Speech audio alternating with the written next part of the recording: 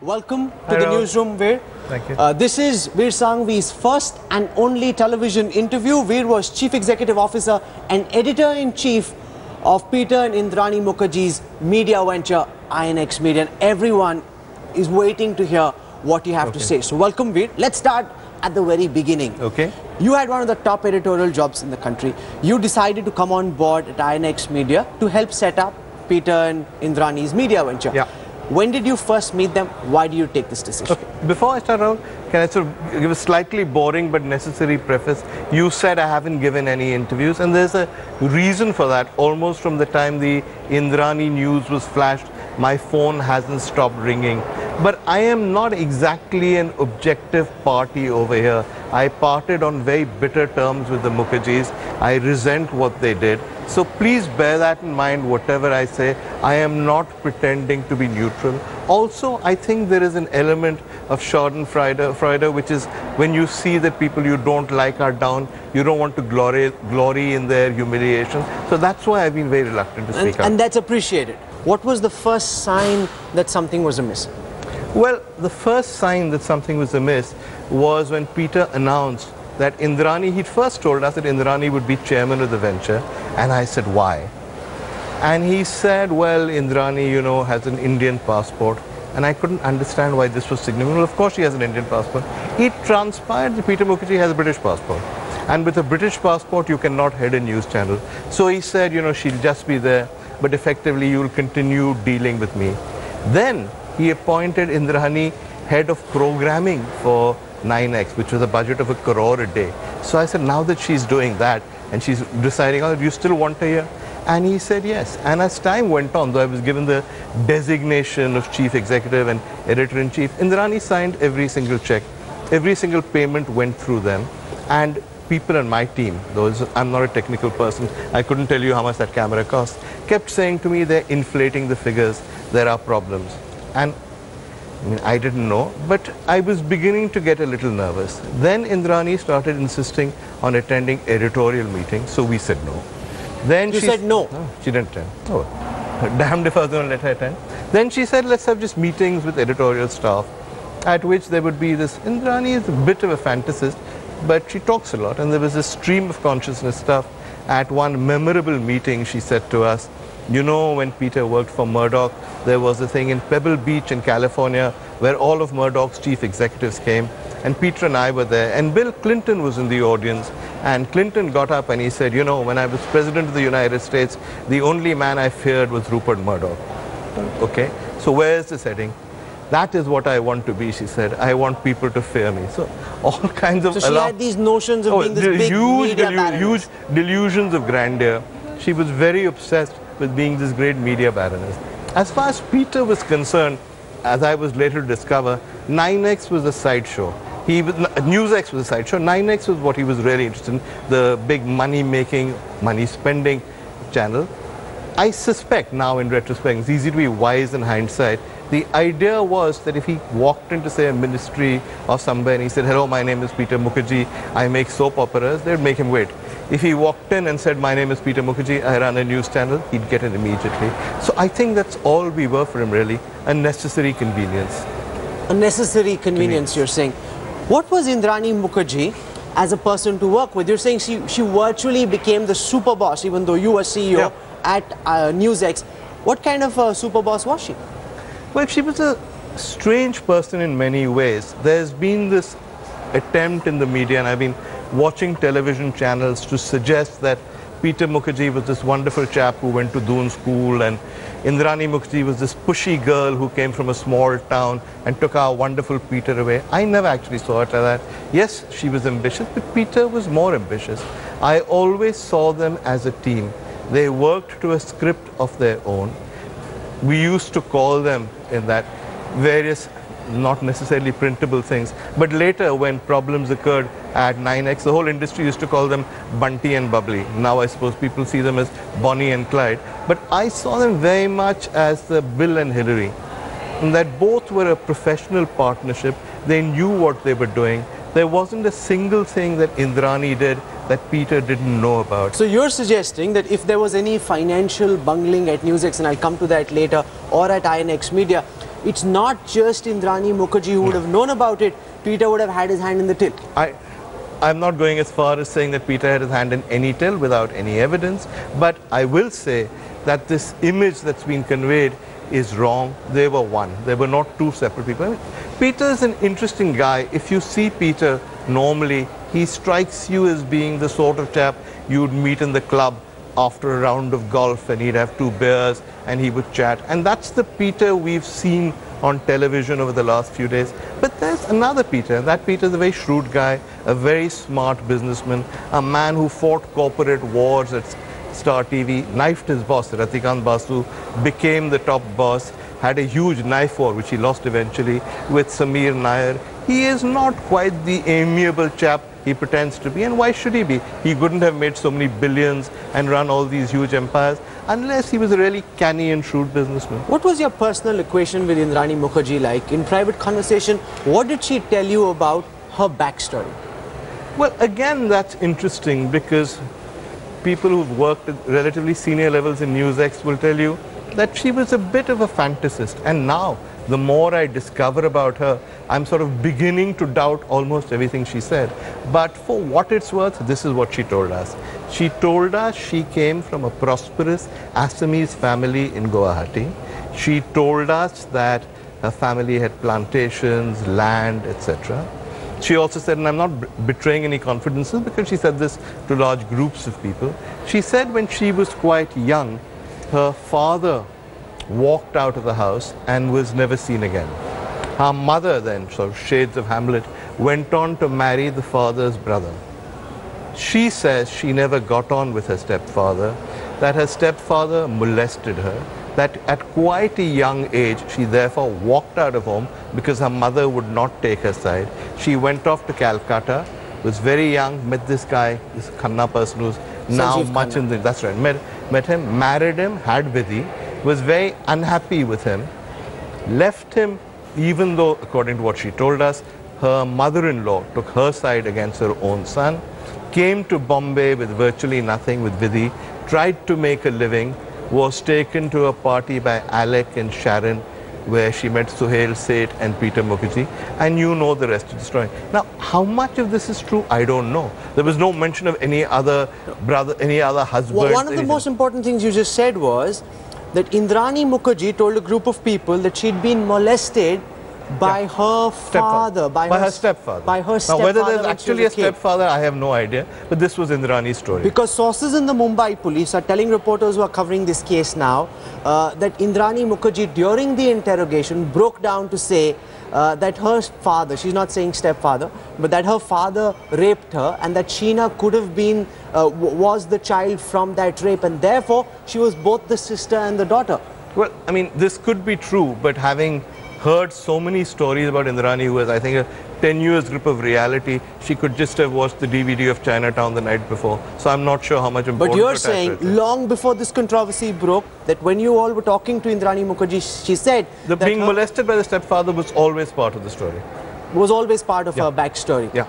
Was Sheena too part of this backstory? No, the version was that because she left home and because she went to Calcutta, she lost touch with her parents and therefore with her stepbrother and her stepsister. That once she was settled down in Calcutta, she decided to try and rediscover her family and to let bygones be bygones as far as her stepfather was concerned. She got in touch with Mikhail, who, was, who she said was named after Gorbachev, and with Sheena and she thought Sheena was wasting herself in Guwahati, so she brought her to Bombay and got her into college. And Sheena, who I did not know very well, was very present. The Mukerjeas would bring her to every function. She got along really well with Vidhi. She got along really well with Peter. She was a sweet child. Nobody had very much to say to her, but she was very much part of the scene. But she was introduced as Indrani's sister. And Stepsister. Stepsister. Yeah. And that's the way it was. Not even real sister, as a stepsister. from the same stepfather. From the same stepfather, who as the yeah. stepsister. Okay. Well, that was the story, I mean. From the first signs, things went downhill very quickly. Yes. Tell us what happened. Well, it just got worse and worse because we were getting readier and readier to launch the channel. Peter was showing no enthusiasm for launching the channel. Why not? By now, he had launched 9X, and it was probably the biggest disaster in the history of Indian broadcasting. It was doing really badly. But they were lying. They were claiming it was historic. They were taking the GRPs of 9XM, which was the music channel, adding them to the GRPs of 9X, sending investors false reports. And I mean, to their shame, the investors believed them, saying that the channel is doing all right. But they knew in their hearts of hearts that they were in trouble when it came to the ratings. I don't know what happened, but he got less and less enthusiastic about NewsX, didn't pay much attention to us. And then finally, I think it all came to a head around the end of December. We had a meeting in the basement of NewsX at which Peter, Indrani, various senior executives were. And we had a relatively tiny budget for distribution, which as you will know is the key in this business. And he said, I am taking away your entire distribution budget. And I said, why would you do that? And he said, oh, we need it for 9X because NewsX is not really that important. And I said, how will we be distributed? He said, you're an elite channel. Why don't you just go on Sky or somewhere? Why do you need to be on cable networks? Peter Mukerjea said this. In the presence of witnesses, Avi and various people were present for this meeting because they were the senior management. So I, I'm not particularly proud of it, but I blew a gasket. I said, this is just a huge con job. You've misled us. You've told us. Right? They said nothing. Husband and wife went back to Bombay. The following Monday, leaks started appearing in televisions, websites, and the Mukerjeas were very, very clever. They kept advertising in industry publications and websites, so they kept Ravi quite sweet. They had a PR man whose job was basically to promote Indrani as the greatest media person in the world. They started all kinds of leaks saying I'd been sacked. Now the Mukerjeas did not have the authority to sack me because it had to go back to the investors. So where were these stories coming from? I was sitting in office. Here were my employees. We were preparing for the launch. And they were saying to me, are you going to be here? Are you not going to be here? And I said, I think, I remember, I still remember, we were in the middle of planning how the launch would be. And I got a call from a woman from Business Standard, I think it was, saying, so how do you, what do you want to comment on? So I said, on what? She said, on your exit. So what exit? I'm sitting here. She said, oh, I was told you'd left. So I said, no, you can come and see for yourself.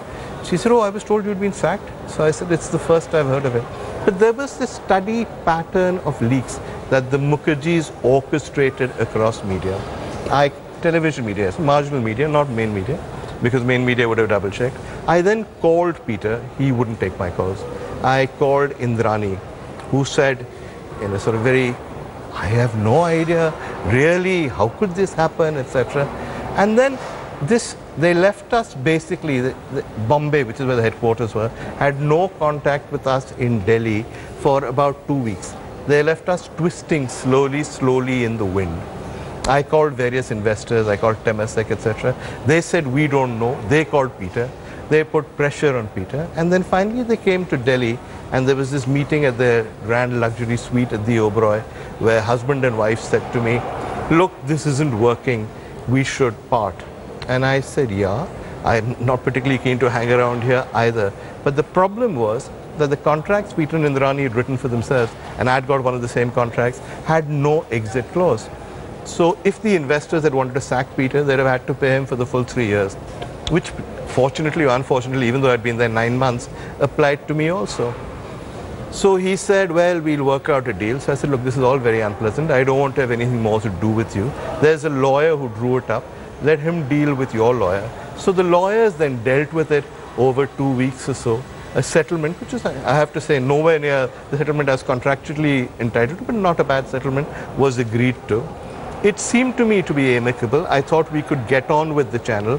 I met Indrani after we'd signed the final letters and I said, I'm sorry, this is it. But just one last thing. I need to send a note out to my staff just to say what's happened, to wish them luck, and to say, don't worry, nobody is indispensable. The channel will go on to greater heights. And she said, sure. And she read it. And she said, how will you send this? I said, I'll mail it when I get home. In those days, we didn't all have iPhones. So she said, okay, it's very moving. Goodbye.